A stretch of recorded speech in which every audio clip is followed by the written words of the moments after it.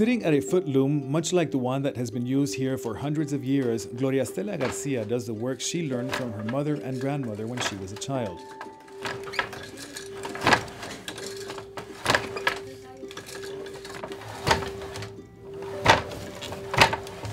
She carefully weaves a piece of cloth using the deep reds and yellows that represent the traditional dress of her native town, Santo Domingo Xenacoj in the Guatemalan highlands.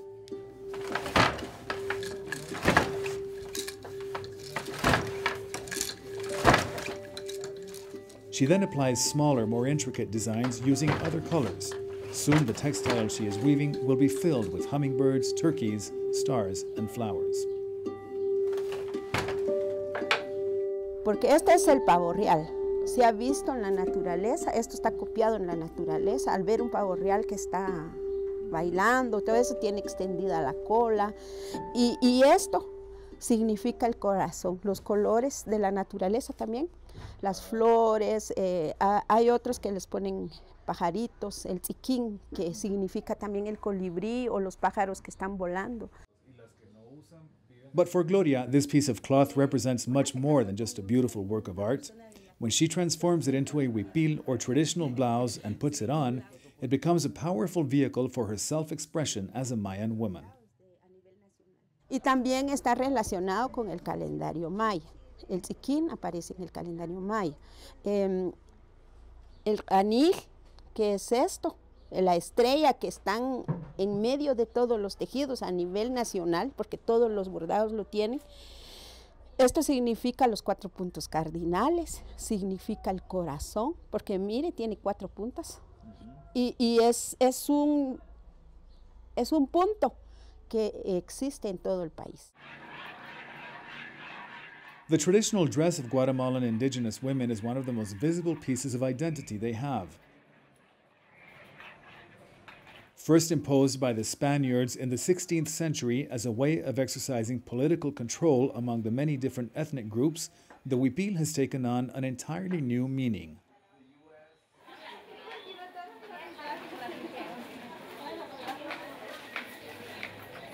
There are hundreds of different styles of huipiles in Guatemala and southern Mexico, and all are made in the specific colors and designs that represent their towns or villages. Special huipiles are also embroidered for important occasions such as weddings. Toman el interés de documentar el nombre exacto y el significado. Barbara Arathoon is a cultural anthropologist who has studied the huipil extensively. She works closely with the Ixchel Museum in Guatemala City, which has amassed, carefully preserved, and curated the largest collection of indigenous dress in the country. para las comunidades indígenas guatemaltecas, especialmente para las mujeres. Para ellas sigue siendo un, eh, una forma vital de ellas eh, expresar la identidad de su comunidad. She says preserving the use of the huipil is crucial as the country's indigenous communities are increasingly exposed to more modern Western styles.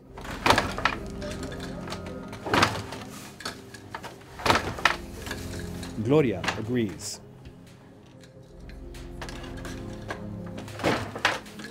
Bueno, en mi forma de ver es que es muy importante llevarlo porque es, es, nuestro y no debemos de perderlo porque lo hemos traído desde pequeños. Pues yo no me siento bien utilizando una falda, una ropa que no es mía.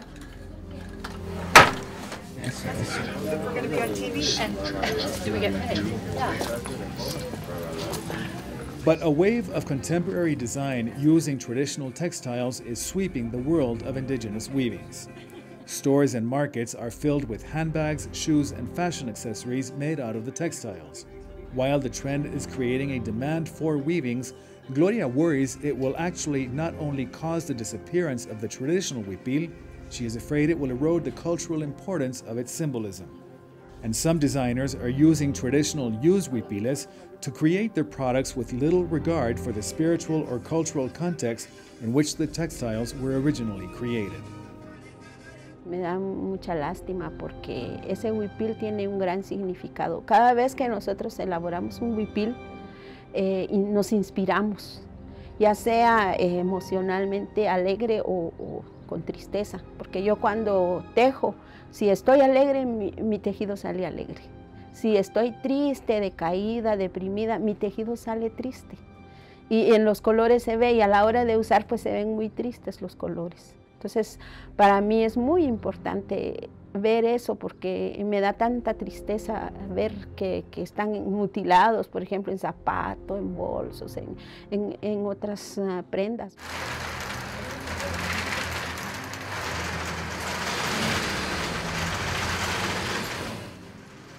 Most of the textiles being used to produce the bags and shoes are made in industrial factories, lowering prices and cutting the traditional weavers out of the market.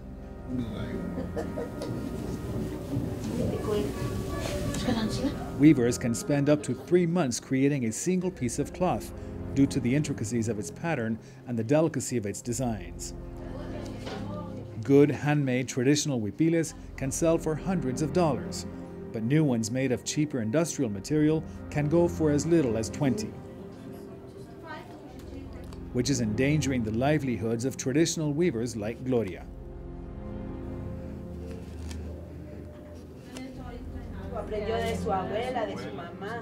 So Gloria organized. She joined a group of fellow weavers and elected a representative to fight what they see as a threat to their culture and to find ways of getting better pay for the weavings they do produce that end up being used for commercial purposes.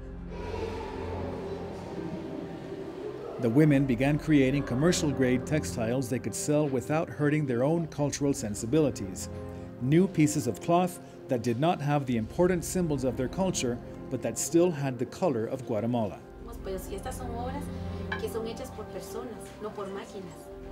Milvian Aspuac represents the Women's Association for Development. Y empezamos a ver algunos tejidos que estaban industrial, eh, los tejidos industrializados y dijimos, esto es una alerta, ¿qué está pasando con nuestros huipiles?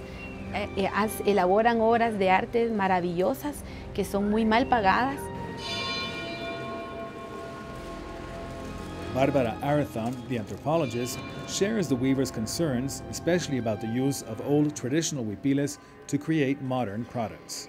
Hay mujeres que por necesidad venden huipiles eh, que ya no usan y son cortados y se les hace como bolsas.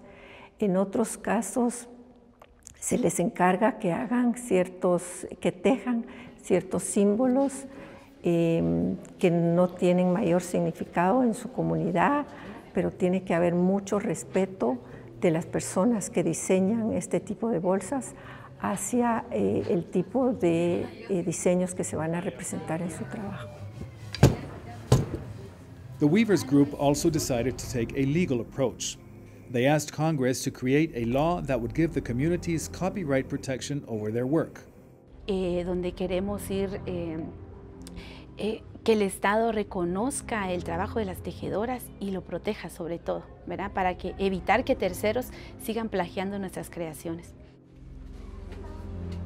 They want collective recognition of the authorship of the designs. So, they say, communities can benefit from the commercialization of their weavings, and so they can control what use is made of the weavings that have deep symbolic meaning. When Congress passed Guatemala's intellectual property laws, it did not include a provision for protecting traditional weavings. Nosotras eh, muy indignadas porque ¿dónde quedaron las tejedoras? muchas tejedoras a partir de 2008, 2009 dejaron de tejer. Me dijeron que eh, no sale cuenta ahora.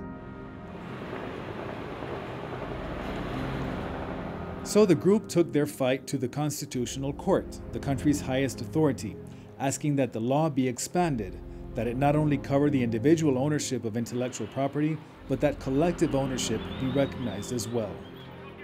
Lo que queremos es eh, como agregar esa a un autor más, un cuarto autor, como pueblos indígenas. Entonces, por eso buscamos una reforma a ese, a ese artículo para que abra la posibilidad de que los pueblos también podamos registrar nuestros, nuestros diseños, si es que así lo queremos, ¿verdad? Pero que se crea la, la posibilidad, el derecho a hacerlo.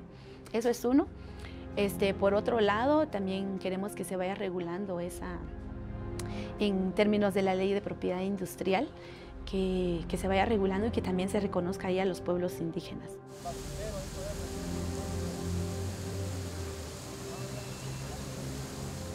The current government agrees with the need to find legal protection for the country's textile culture, but insists it is a complicated issue to address. No, lo que tenemos son las convenciones. Guatemala no tiene legislación, esa es parte del problema. Vice Minister of Culture Max Araujo says there is no easy fix because it is hard to determine ownership of designs that have existed for hundreds of years. Porque en el caso del derecho de autor o de la propiedad intelectual industrial se sabe quién es el autor, es decir, quién es el creador. Cuando se habla de propiedad intelectual de expresiones culturales se habla de, propiedad colectiva, es decir, no hay una persona que lo haya creado, sino ha sido a través de, los siglos, a través de, generación en generación. Entonces el tema no es fácil. No solo quién es el autor, se sabe quién es el hacedor y portador de la expresión, pero lo, lo, más importante es al final si se reconoce quiénes van a ser los beneficiados. Guatemala is a member of the World Intellectual Property Organization and has signed treaties that protect individual intellectual rights. But at an official level, no one has ever addressed the need for enshrining collective intellectual rights, and the bigger issue revolves around who has the right to claim ownership over a specific design. But some designers have found a different approach, one that respects the traditional importance of the weavings and the economic necessities of the communities where they are produced. Entonces lo que nosotros hacemos es nos inspiramos en sus colores, nos inspiramos en sus técnicas, y lo que hacemos, por ejemplo, es que trabajamos en el área donde son. Diego Olivero is an industrial designer who has worked closely with communities in creating the products he sells around the world. Bags and shoes, but also home decorations, furniture, and accessories. His team identifies communities that have high levels of poverty and contracts their weavers and artisans to create jobs and incubate small businesses. nosotros usamos el diseño, ¿verdad? Como la herramienta para el, la inclusión social, ¿verdad? Entonces nosotros nos inspiramos en ellos y creamos productos eh, con piezas más pequeñas, utilizando las mismas técnicas con las que se hacen los huipiles, pero generando empleos sostenibles. Totalmente de acuerdo. Es muy difícil darle la propiedad a alguien sobre... He pays the artisans a minimum of 30% higher than the legal minimum wage, but he does question the need for enacting new copyright laws. As someone who also creates new ideas, he wonders if it is possible to determine the fair authorship of some of the designs in the huipiles. En cuanto a eso, es, es, es un poco difícil decir si está bien o no está bien, pues yo no sé quién realmente se inventó un huipil, ¿verdad? Entonces es algo, es algo complicado a quién darle, si vamos a remunerar a, la, remunerar a la persona que se lo inventó, quién fue, ¿verdad? Porque yo creo que esto es algo que, que es de todos los guatemaltecos, ¿verdad? Entonces creo que no hay que explotarlo y creo que hay que trabajar con artesanos directamente con ellos, generar productos nuevos y generar un cambio real.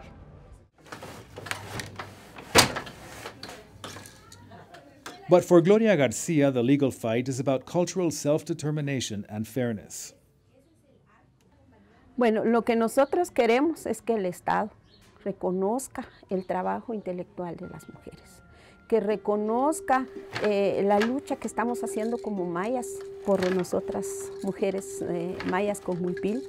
Eh, hemos visto con gran tristeza de que se en, entran miles de quetzales al país mientras que nosotros nos estamos muriendo de hambre. Si nosotros vendemos un tejido a, a, a una empresa, nos pagan mínimo. The issue has sparked controversy in Guatemala. The weavers say they are simply seeking fair trade as part of an ethnic group that has long been oppressed. Una de las cosas que creo que hace mucho ruido en Guatemala es que se cree que los pueblos indígenas como que no somos sujetos de derecho y nosotros decimos que sí somos sujetos de derecho y queremos que se vayan sentando precedentes en el marco de los derechos colectivos porque sí los hay. ¿verdad? Y yo creo que Guatemala avanzaría más si se va reconociendo toda esa parte porque tenemos una riqueza este, multicultural y de biodiversidad y de diseños que hacen lo que es Guatemala.